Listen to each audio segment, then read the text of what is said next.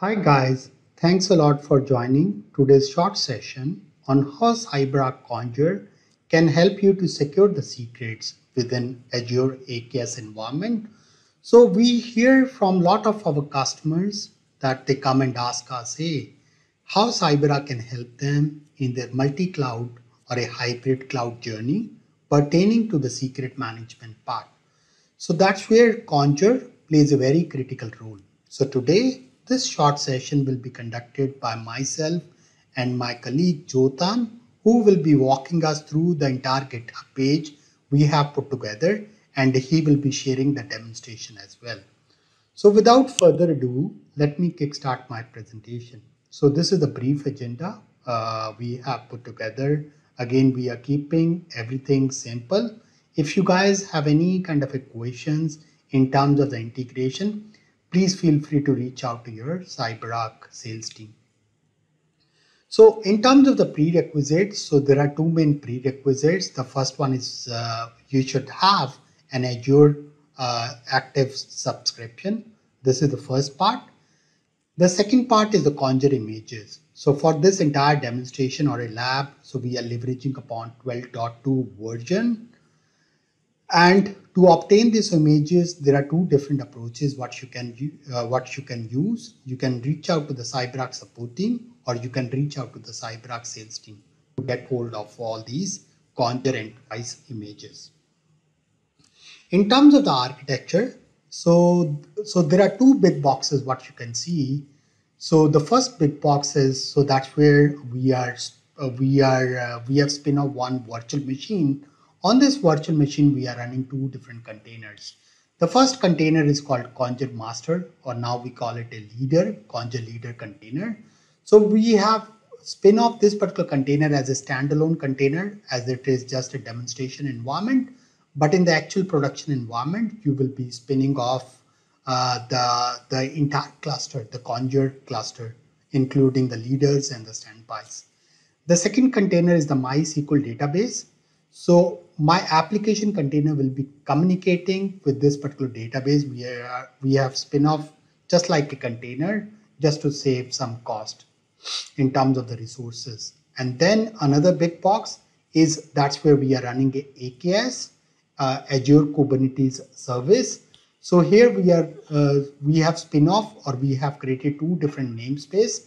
The first one is the Conjur follow namespace. In this follow namespace, so we have spin-off two follower replicas and then we have created a service and these follower replicas will be communicated with the Conjur master.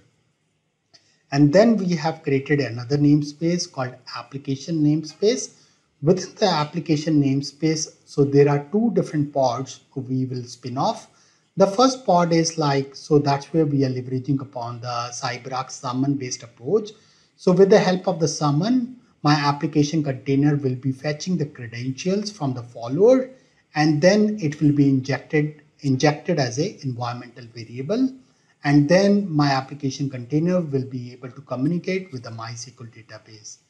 And the second container is uh, uh, in the second container or the second pod. So we are leveraging upon the secretless broker based approach. The secretless broker approach is considered as the most secure approach because credentials are never ever exposed to your application container.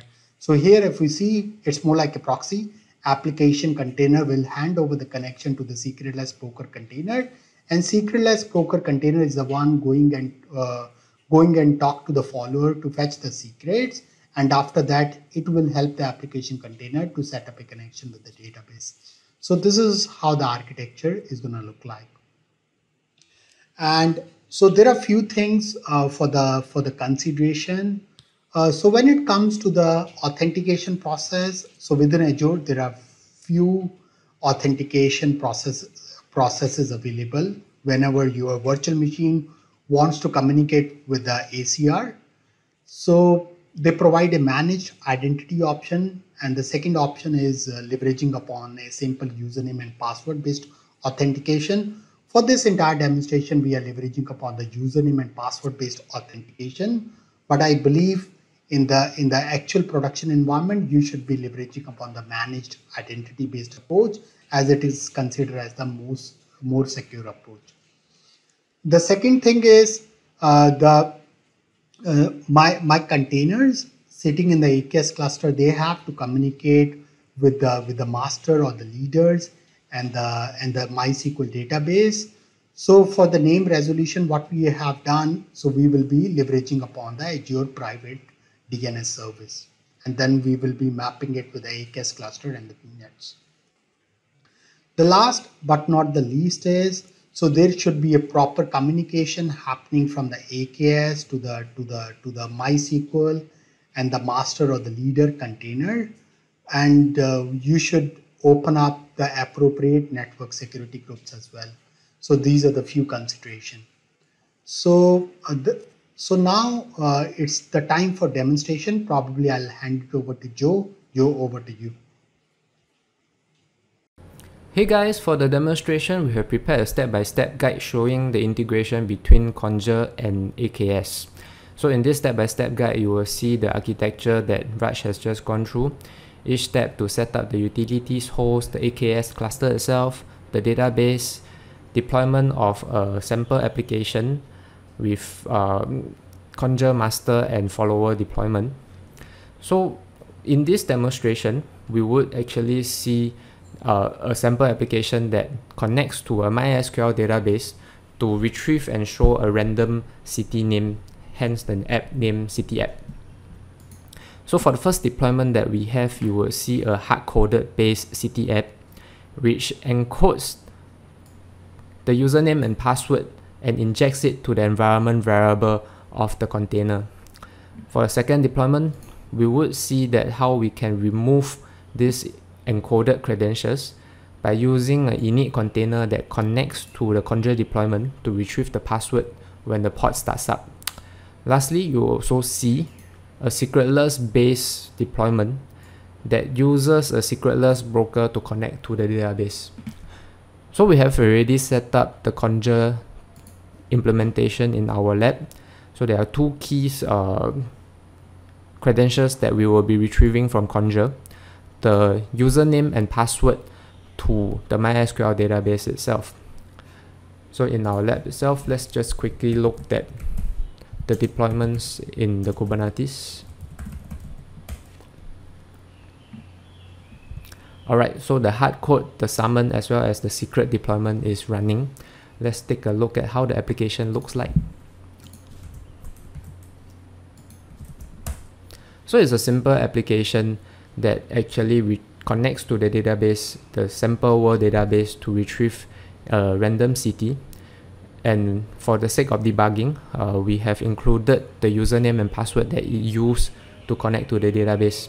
So for the hard-coded one as seen in the manifest file previously, it would just use the environment variable that is injected in the manifest and connect to the database. Quite similarly for summon, instead of injecting the environment variables, the init container actually retrieves the credentials from Conjur and inject into the application environment, which means the username and password also will be seen by the application itself. To take it one step further to secure the credentials itself, we want to make sure that the credential is not visible to the application at all. So using a Sybase secretless broker, you can ensure that your application will never see the credential and it will just connect to the secretless broker where the secretless broker is the one that is brokering the connection to the MySQL database.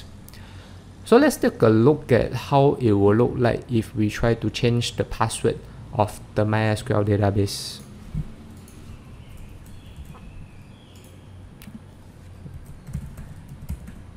Going to login and change the city app password. So we have changed the password. Let's exit out of this. Let's do a quick refresh of the applications. Before that, let's inject the password into Conjur update the new password.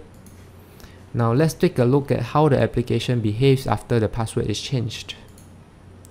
You can see that of course the hard-coded application has error because the password has changed and the password is not working.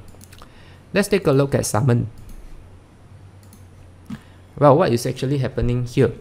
Summon has also failed. Before we talk about why summon is not able to connect to MySQL, let's take a look at the behavior for the secretless broker. We can see that the secretless broker still holds the connection very well because it's connecting to the secretless broker. The secretless broker is picking up the new credentials. So for summon, why has it failed? We look at the manifest file for the summon. It actually uses an init container for our Conjur K8 client. So if you choose to use summon, you actually have to restart the deployment before it will pick up the new credentials because the credentials is retrieved when the pod starts up. So let's go ahead and restart the deployment for summon init.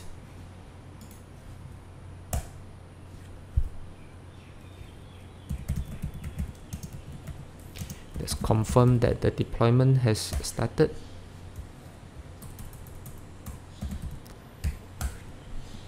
So you can see that the summon has completed the initialization. Let's refresh the app. So because it's a new deployment, it starts up the new pod with a new init container. This time, it's able to get the new password that concludes our de demonstration for the Conjur AKS. Thank you.